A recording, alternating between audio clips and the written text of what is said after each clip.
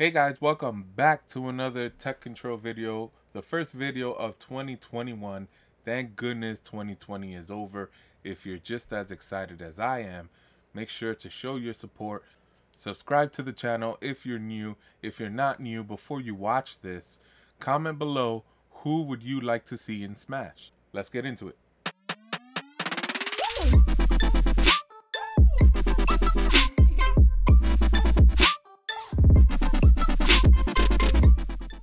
Guess what's up next?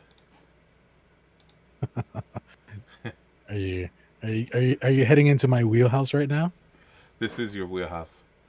So I'm gonna have to blur these I mean- commercials out or something. I don't even know. I'll just I'll just skip it. Like uh like well, it's not technically a new game, so I guess we don't really have to talk about it much, but yeah, like Sephiroth being in Smash Brothers was uh really really crazy, which I made a a reaction to it by the way on my channel PlaySesh. Uh but yeah, it's, it's really it's it, it was almost like Cloud because when Cloud came out, it just came out of nowhere. Nobody was expecting that. So that was the same thing with uh, Sephiroth when it was announced. So it's it's pretty Yeah. it's pretty cool. Well, I, I think the um, the best part here is that it's not another Fire Emblem character, right? And um, this guy.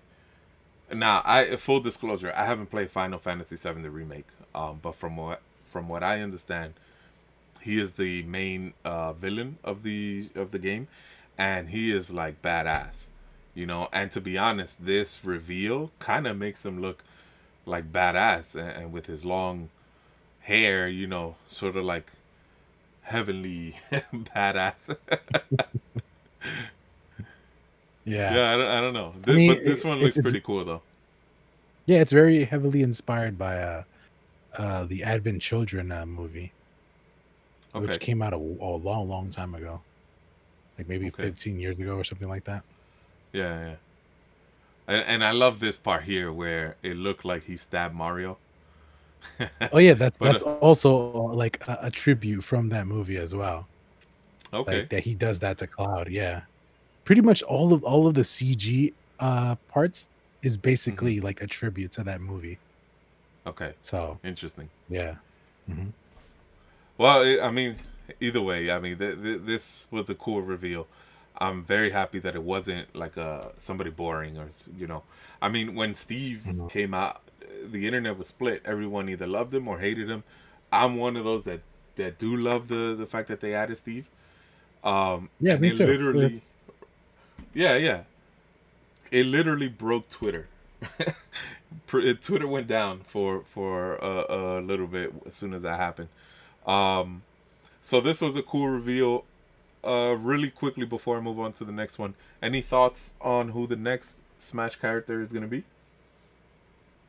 Well, I had my theories of who this one could have been, but it didn't pan out. That doesn't mean that it won't happen because I've heard other people talk about it. So, like, I was thinking that possibly, what was it, Jonesy from Fortnite could have been it because oh, okay, I can see that. bec- be- because if for those that don't know the current season in fortnite like their whole big theme is hunters so who's the biggest hunter in nintendo because they already have master chief from xbox they have kratos from playstation so Mm-hmm. Right. obviously the one that's missing is nintendo and the biggest hunter in nintendo would be samus so Yeah. i was thinking i was thinking that maybe they would have worked out a deal because Nintendo is kind of weird when it comes to ha- having their characters show up anywhere else.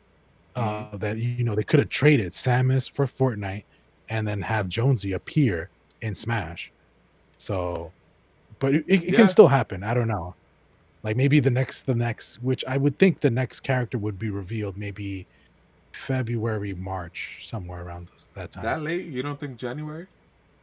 No, because you that's that's kind of what their schedule is. Like I Every knew there was a there was a like in December there's always one, there's always one in September, there's always one in like the summer, and then there's always one like around spring. Okay. Yeah. I don't know what happened to the video here. Okay. Um so so used to all right, Jonesy, that that's a good that's a good pick. Um I'm actually gonna go with Ori from the Will of the Wisps and uh, what's the other one? Ori and the something forest. Anyway, uh, I really think Ori uh, is supposed to be an Xbox exclusive, but you can also play that game on the Switch. So I think Nintendo and Microsoft sort of, you know, have a handshake agreement. Hey, here's my game on your console. You put Ori in in Super Smash Bros. And to be honest, um, the changes that they made from Ori one to Ori two feels like they made specifically. I, I I don't know. Maybe it's just me, but Ori feels like a Smash character in Ori two. That that's Really? just Interesting. yeah, yeah. I mean, it's minor changes, but in Ori one, the combat was this energy blast that it would blast from a light of energy that came from its head. But in Ori two, the light was still there, but it was no longer shooting blasts. You were actually giving a light sword, and it had pretty good reach. I felt like this sword and the reach that it had was more for to accommodate if this character were to enter Smash.